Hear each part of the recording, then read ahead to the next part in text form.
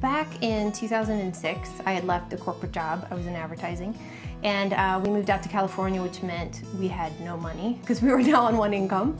So I decided, all right, either I have to figure out how to make money at home or I have to go back to work because it just wasn't happening. And at the same time, we were kind of needing a lot of storage options for our kids because they were getting bigger and there were toys everywhere. So I went online and I started looking and I thought there's no way I can afford what I want. I mean, it's just ridiculous. And I looked in the modern section of toy boxes because we really like modern aesthetic and there was one, that was it. And the light bulb kind of went off and I thought, all right, this is crazy, but if I can teach myself how to build these things, they look pretty simple, maybe there's a market there because I, I don't know where all these people are putting their toys if they like modern furniture.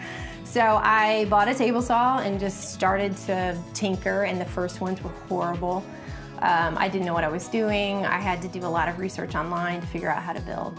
And uh, once I did that and started getting comfortable, I built some things for my kids and then I just started slowly, you know, thinking, how am I gonna do this? And it led to launching Mod Mom Furniture online.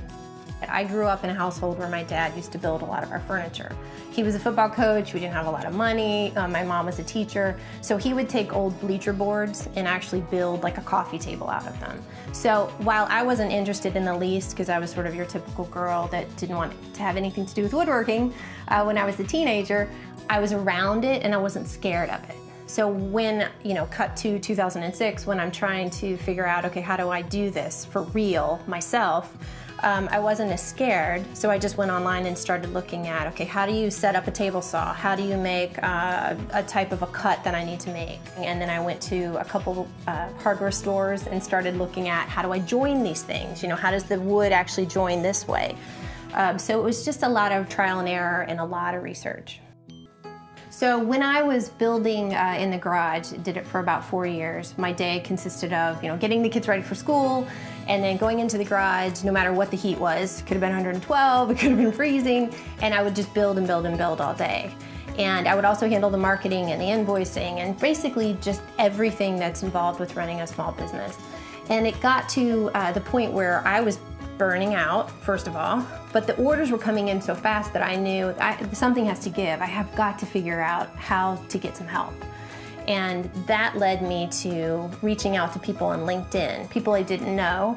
And I had done this before and kind of gotten shot down, um, but this particular time I reached out to a woman and I thought, I'm just gonna give it a shot. And she was amazing. She was the one who helped me figure out, okay, I should probably go with the Amish versus going with China. I want to keep it US made, I want to keep it eco-friendly, that type of thing. So for me, it was a lot about connections. It was a lot about not being scared to reach out and ask for help. I think as an entrepreneur, a lot of times you think, okay, well, I can do everything. I can manage all of this, and if I could just keep the ball rolling. Well, at some point, you just, you can't. You have to get help in order to scale the business. So the wood that I use for all of the furniture right now is called Baltic birch and it's a really strong eco-friendly plywood. Um, and it's great for kids. It's good for really any type of furniture. So that's what I've been using. And the design uh, inspirations typically come from things that I like. I like modern but I also like organic. So I tried to fit both of them together. So you'll see a lot of things like trees and leaves and, and things that honestly, when I was building them myself, I can't cut a perfect circle. So I would have to cut, I thought, okay, I can't do a circle lid, I need to do a leaf lid because then I can cut with a jigsaw the leaf and it's not gonna look, you know, like it's not perfect. So I, um, I really had to think of those types of things when I was designing. I have a few favorites. One of, uh, one of my favorites is called the Owen toy box and it looks like a tree with two leaves on top. And the lids are lift off, so it's kind of like a puzzle piece. So it encourages kids to put their toys away, we like to think. Um, and that way, you know, it's a little bit more fun than just lifting up something. It's like a puzzle. They can put it back down again. I have a couple other pieces that are more mid-century style that I really like. One is called the Gracie Toy Box after my daughter, and it's very Eames Herman Miller-esque. Uh, it was designed after my grandmother's old record player. Do you remember they have, used to have the split lids? So I just thought, wait a minute, we need to do something with that because that's a really cool look and we can just turn it into a toy box.